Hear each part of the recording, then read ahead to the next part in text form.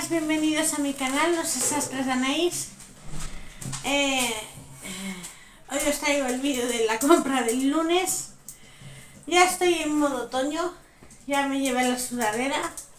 Me arrepentí porque pasé calor. Pero bueno, estamos sobre 19, 20 grados y diluviando. Ahora mismo paro un poco, pero toda la noche y toda la mañana cayendo bien. Cayendo bien de agua. Viento. Por cierto que lo del huracán Daniel, este nuevo, que según las previsiones a veces va para Irlanda, a veces va para el norte, para, se pierde en el Océano Atlántico y otras nos vienen a nosotros. Bueno, ayer venía a nosotros, hoy mm, según va para Irlanda se pierde en el Atlántico.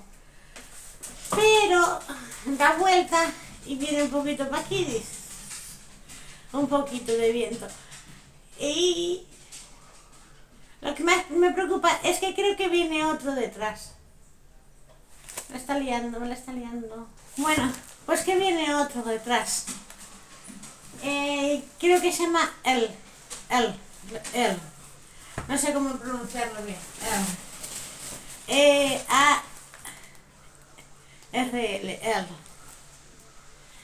Entonces ya está lloviendo. Entonces no sé, creo que van a ir casi juntos. Según, según las predicciones de hoy. Si os, grabo la pantalla de Windy, o, os, lo, os lo muestro si puedo. ¿Vale? Así que va yendo por aquí. bueno, deciros también lo del... Lo del L. Madre mía. Pero es que parece que normalmente en el Caribe y en lo que es Estados Unidos y todas esas cosas, el, el, el Golfo, el Golfo de, México, no está viendo. Entonces dice, mira, está, está el mundo raro, pero puede ser porque está el océano muy caliente, más caliente de lo normal. Entonces puede, puede que sea eso. Pero yo no sé mucho. A mí me gusta mirarlo y, tal, pero nada. Ah, fui al Freud y al, y al Carrefour. Nada más. Porque con esta lluvia. Freud ah, Pero es agua. Agua para las plantas, para los embalses, para los ríos, para todo. Ah, dos de de baguette a 40 céntimos cada uno. Cogí una bolsa para que no se me mojasen. Truco de invierno. Compré queso en polvo que subió de 98 céntimos a 1,03€. Ha sido subida de 5 céntimos en el Freud. Y ahora en el Carrefour.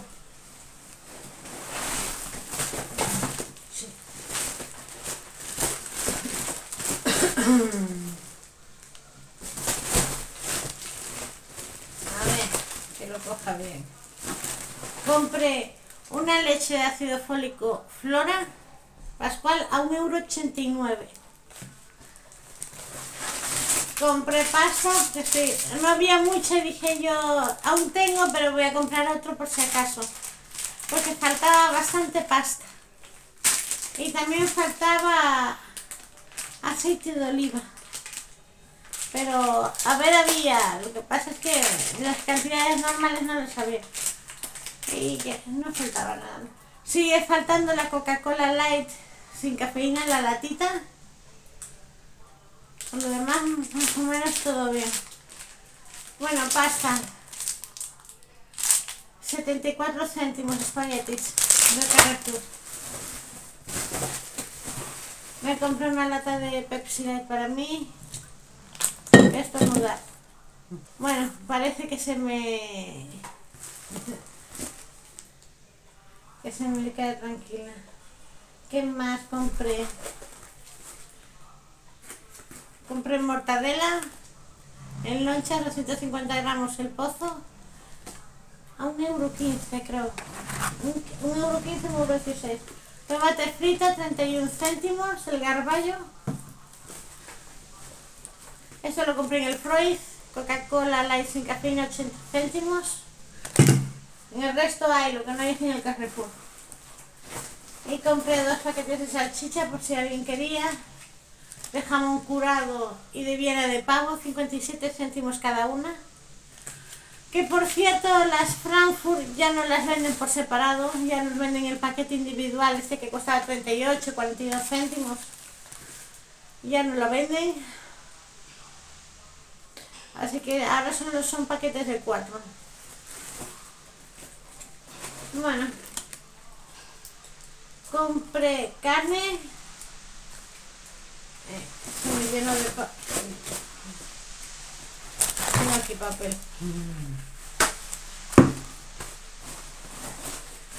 Se me llenó de migas de pan.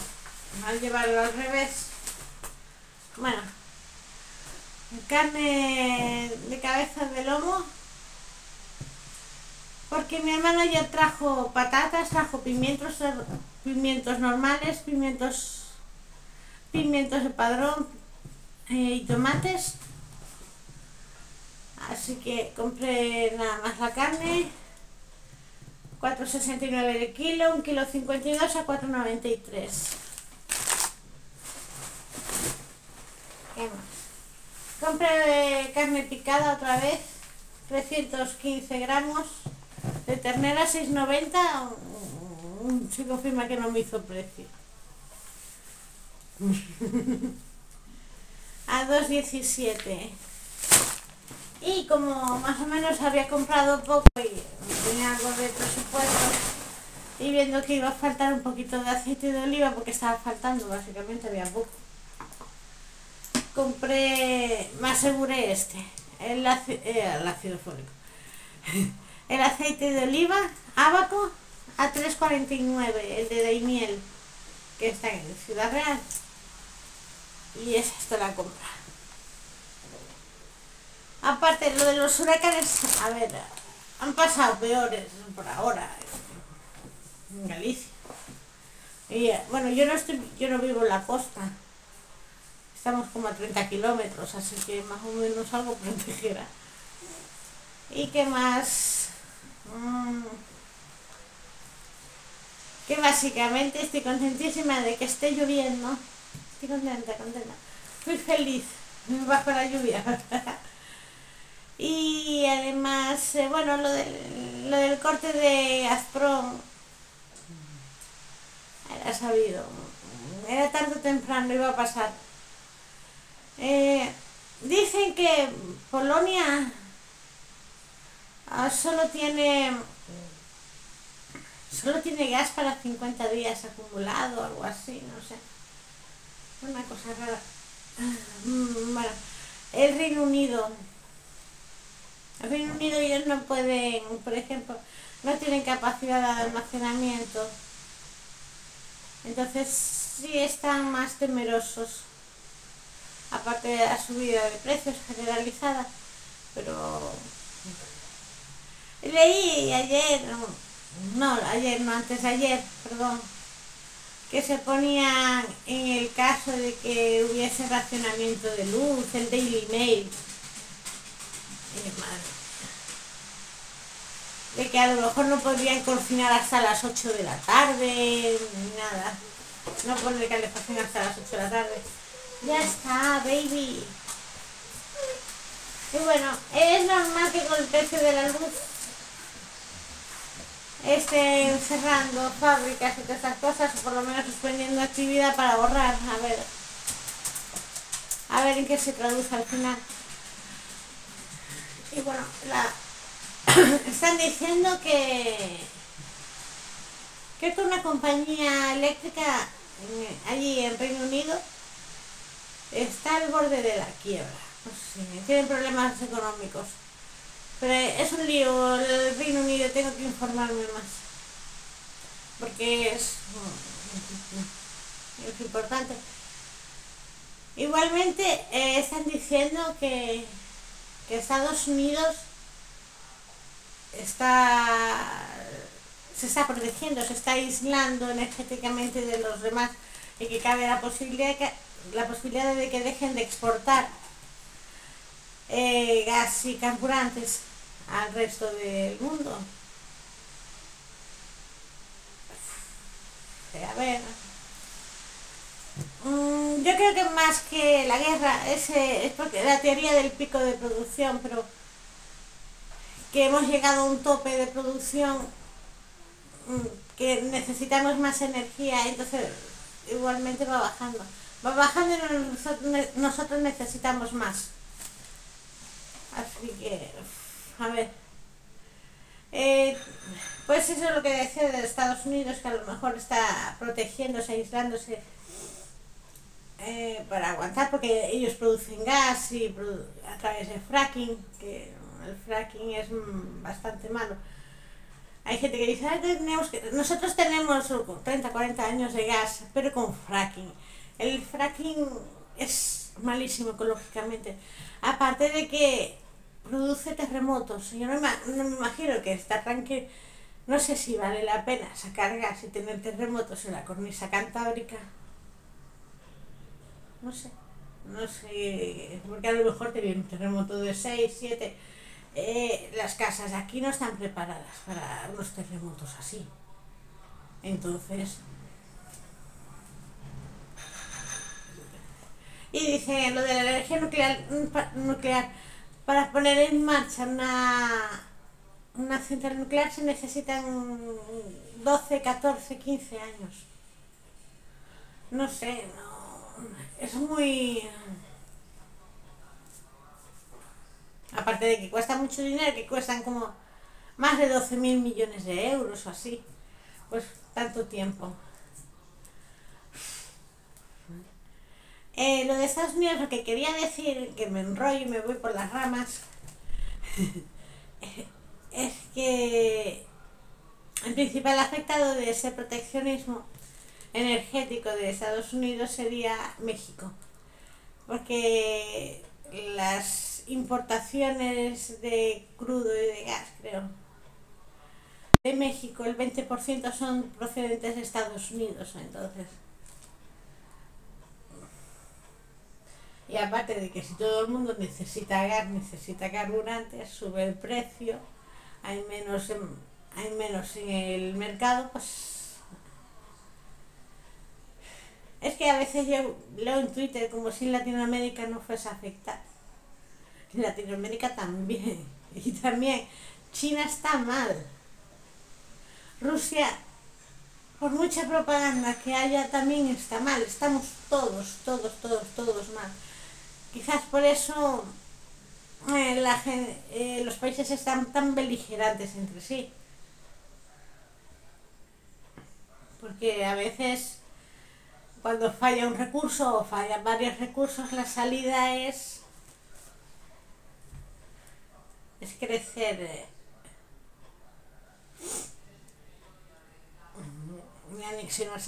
por ejemplo, eh, casualmente, eh, Ucrania tiene reservas de, gas, creo que de gas.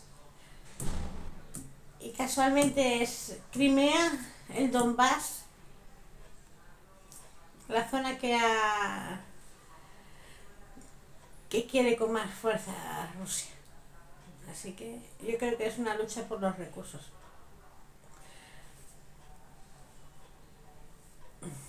Que no es porque esto, esto es nuestro, dicen. Sí, ellos dicen que todo es suyo ya está. Pero bueno. Eh, unos dicen, bueno, pero ellos producen gas, eh, pueden aguantar. Pero es que no ningún país produce de todo. Muy poco, muy pocos países producen de todo. Entonces, se necesita la, la colaboración entre países, obviamente. Si yo te vendo esto, tú me vendes lo otro. Entonces, va a haber un desbarajuste. Yo creo que va a ser, más que todo, es que necesitemos un ajuste. No sé si va a ser un buen meneo o un meneillo, no sé. Pero la sociedad mundial se tiene que ajustar a lo, que hay. Yo creo que sí. A ver, es, algo normal en la historia. la historia de todo es así y, es dinámica. No va, no va en bucle. Aunque a veces parece que se repiten las cosas. Mm, no, las comparaciones son odiosas, la verdad. Así que la historia es esto. A veces está arriba, a veces está abajo, otras veces está, se está en el medio, torcido, para un lado, para el otro. Pero nunca se está igual. Entonces, así que sin más dilación, eh, si os ha gustado el vídeo, dale a like, suscribiros, dale a la campanita y os deseo todo lo mejor del mundo, toda la mayor felicidad del mundo y toda la mejor salud del universo.